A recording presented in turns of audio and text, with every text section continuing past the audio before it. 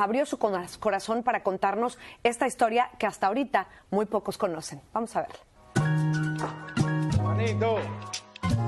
Ah, lo prometido que... En exclusiva fuimos testigos del momento en el que el joyero de los famosos, Tito Vargas, le hizo entrega a Arcángel de esta joya única en su tipo. Dale.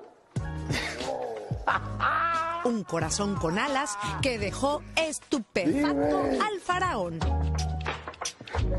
¿Cuánto pesa?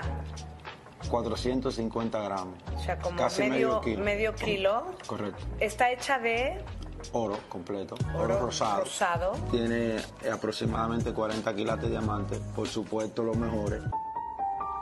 Arcángel por primera vez reveló la historia detrás de esta costosa gargantilla.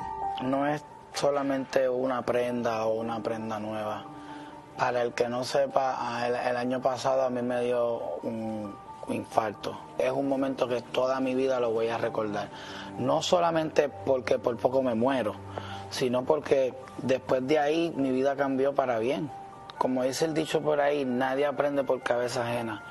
Y lo más que yo he tenido personas a mi alrededor que me han dicho, cuídate, este, trabaja mucho, no tomes tanto, descansa, aliméntate mejor.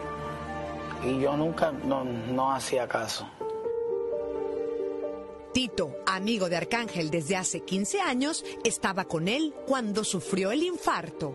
Austin Santos para mí es una persona que, que ¿sabe? no es un cliente, un hermano mío, una de las personas más cercanas a mi vida.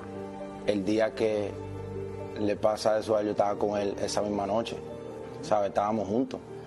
La ironía más grande de la vida que también tenía hasta una, un, un tiche, una suera que tenía un corazón roto.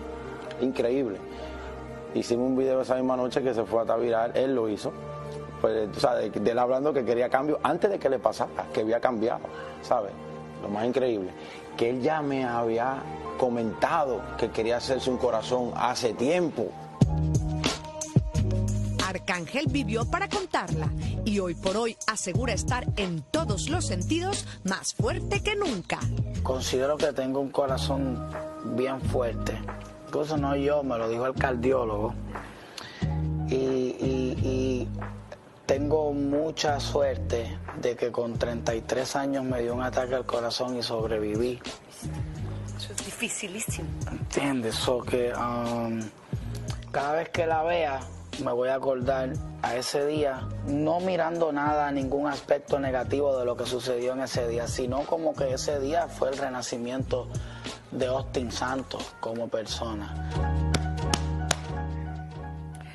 Bueno, la verdad que, que es impresionante que haya contado esa historia tan cándidamente, se lo agradecemos la confianza y, y entonces ese corazón de oro es muy simbólico. Claro, Mari, dicen que es incluso un poco del tamaño de su propio corazón y representa para él pues ese cambio tan drástico que ha hecho en su